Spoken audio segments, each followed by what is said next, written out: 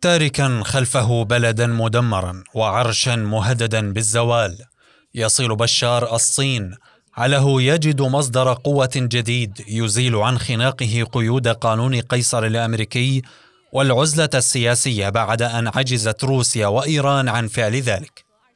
مدير مطار مدينة خانجو الصينية ومسؤولون صينيون كانوا في استقبال بشار وزوجته والوفد المرافق الذين قدموا بطائرة صينية أيضا.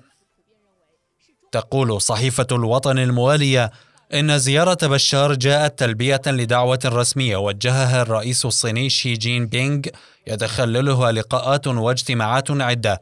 في حين تكتفي الخارجية الصينية بذكر حضور بشار الأسد حفل افتتاح دورة الألعاب الآسيوية المقامة هناك.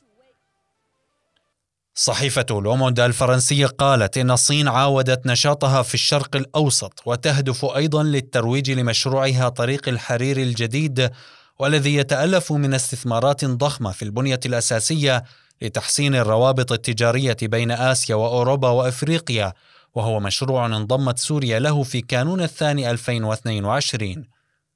زيارة بشار الأسد تأتي بعد انقطاع دام عشرين عاما. ورغم ذلك دعمت الصين الأسد سياسيا في قمعه للحراك والثورة ضده وأعاقت مع روسيا ثمان مشاريع قرارات في مجلس الأمن ضد سلطة الأسد كان آخرها في تموز 2020 ضد تمديد آلية إيصال المساعدات عبر تركيا إلى شمال غرب سوريا. اطلب المال ولو في الصين، هكذا يبدو شعار المرحلة بالنسبة لبشار الأسد الهارب من مشاكله المحلية والإقليمية، والباحث عن حل يبسط من خلاله السيطرة على بلاد بات بعض رؤساء دول الجوار يشككون في سيطرته عليها.